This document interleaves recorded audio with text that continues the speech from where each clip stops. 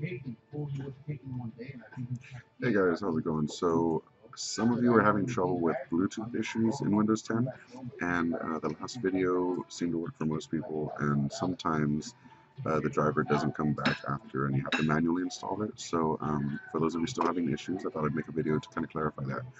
So, um, first things first, what happened is in July we got a huge spike in views, basically because uh, Windows released an update that essentially was supposed to update the Intel driver, but it would first uninstall it. And there was an issue with the uninstall process that would, you know, uninstall the driver, but it wouldn't put it back. So a lot of people's Bluetooth just stopped working. So um, we figured that out because uh, we had the, the, big spike in, views, and then this came out in the comments.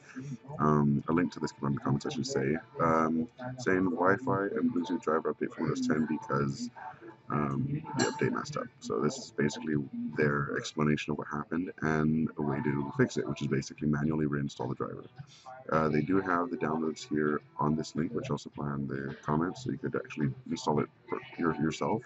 But there's also another method. Um, since it was with Intel, it's most likely an Intel driver that you have to update. And if you're not sure which one, you can go to the Intel website and actually do the Intel driver update utility, which uh, will search your hardware for the actual driver and install it.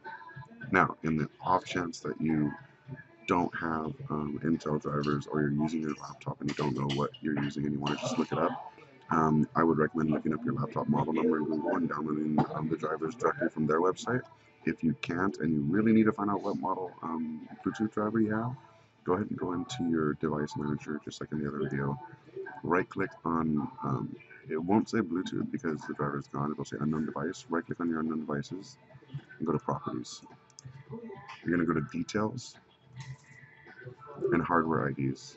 And all you do is you right click on the hardware ID, copy it, and search Google for the hardware ID. And that'll tell you basically what it is. Um, if you have more than one unknown device, it's a great way to find out what hardware they are, and that way you could actually search for the specific driver and install it. But that's basically what happened. Your, your Bluetooth um, hardware is likely just fine, and you just have to install the driver. And um, those are a few ways you can accomplish that. So I hope this helped. Thanks. Peace.